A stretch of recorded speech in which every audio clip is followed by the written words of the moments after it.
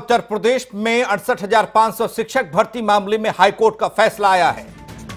मूल विज्ञापन पर भर्ती का हाईकोर्ट ने दिया आदेश। 40-45 कट ऑफ़ पर होगी शिक्षक भर्ती परीक्षा के बाद। सरकार ने कट ऑफ़ 30-33 कर दी थी। परीक्षा के बाद कुछ अभ्यर्थियों ने हाईकोर्ट में लगाई थी गुहार भर्ती। मूल विज्ञापन पर कराए जाने को लेकर यह गुहार लगाई गई थी। बड़ी खबर इस वक्त आपको बता रहे हैं, उत्तर प्रदेश से आज की बड़ी खबर, भर्ती। मूल विज्ञापन पर कराए जाने की गुहार और उसको लेकर बड़ी खबर। अरुण चतुर्वेदी जुड़ रहे हैं हमारे साथ, हमारे सहयोगी अरुण किस तरह से इस खबरों को देखें, इस खबर को देखें अभ्यर्थियों के लिए राहत, क्योंकि संज्ञान लिया गया है। देखिए, अगर इसको साफ़ तरीके से देखें तो ये योगी सरकार को करारा झटका हुआ है कोर्ट से।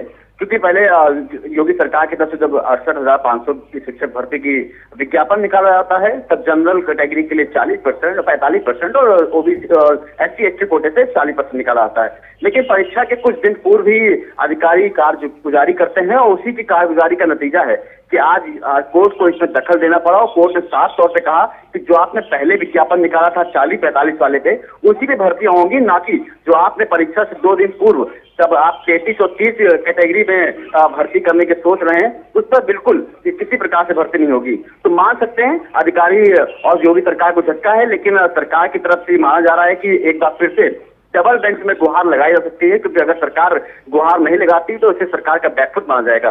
इसी के चलते फ़िलहाल अड़सठ हज़ार पाँच सौ जो शिक्षक भर्ती के अभ्यर्थी थे, उनको काफ़ी राहत मिली है। उनमें काफ़ी खुशी का माहौल है और फ़िलहाल सरकार का अगला स्टैंड क्या होगा, ये तो आने वाला वक्त बताएगा, लेकिन सूत्रों की माने तो डबल बेंच में एक बार गुहार लगा सकते हैं।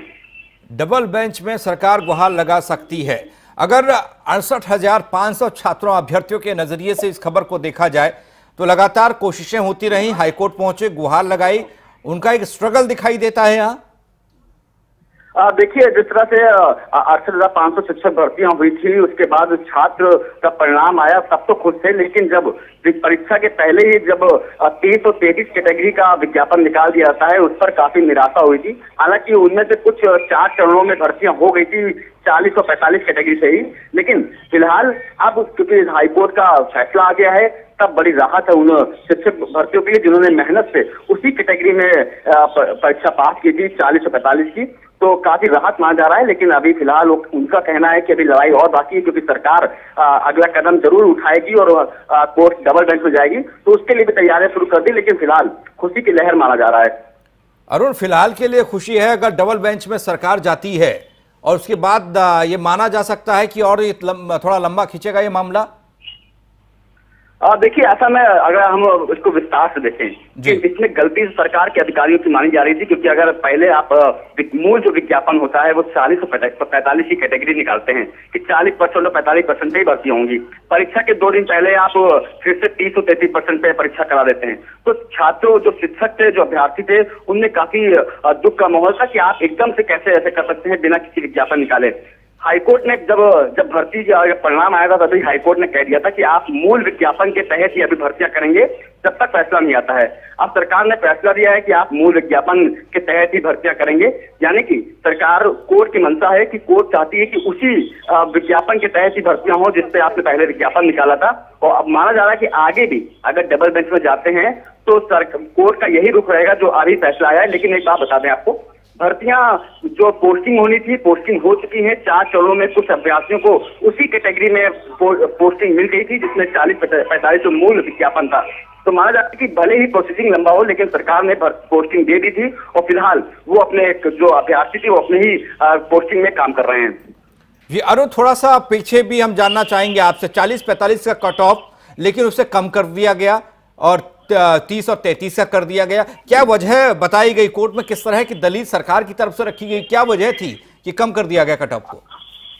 देखिए, जब सरकार की तरफ़ से ये कहा गया बयान, जब जब सरकार की तरफ़ से गया था क्योंकि तो कोर्ट में गुहार लगाई थी अभ्यर्थियों ने तो अभ्यर्थियों ने साफ़ तौर से कहा कि सरकार ने हम लोग के साथ धोखा दिया है। पहले चालीस और पैंतालीस मूल विज्ञापन निकालते हैं। परीक्षा के पहले अपने कुछ लोगों को सपोर्ट करने के या कुछ लोगों को लाभ देने के लिए तीस और तैतीस परसेंट कर देते हैं। तो ये अभ्यर्थियों के साथ धोखा है।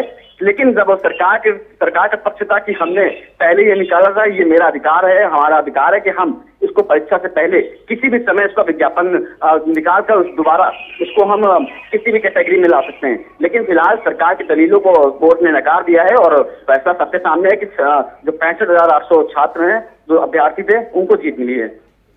छात्रों को जीत मिली है। अरुण, एक सवाल और। आपने ज़िक्र किया कि कुछ लोगों की पोस्टिंग हो गई, उनका कट ऑफ़ चालीस पैंतालीस वाला ही था। और कितने लोग हैं जिसको, जिसकी पोस्टिंग हो गई उस कट ऑफ़ पर, और कितने लोग बचे हुए हैं? कोई आंकड़ा? देखिए फ़िलहाल देखिए फ़िलहाल आठ हज़ार पाँच सौ जो भर्ती थी उसमें से चार चरणों में सरकार ने भर्तियाँ की थी। उसमें कुछ भर्तियाँ जिसमें चार परसेंट में कम से कम पैंतालीस सौ लोगों को उन्होंने पोस्टिंग दे दी थी जो चार चरणों में पूरी कंप्लीट हुई थी। लेकिन कुछ अभी भी अभ्यर्थी थे जो इंतज़ार कर रहे थे सरकार की जैसे ही वो कहीं पर संभावनाएँ बनती है उनको पोस्ट किया जाएगा। लेकिन असल में वजह थी कि हाईकोर्ट का फैसला आ जाए उसके बाद ही उनको पोस्ट किया जाए। बहुत बहुत शुक्रिया अरुण इस जानकारी के लिए आपका।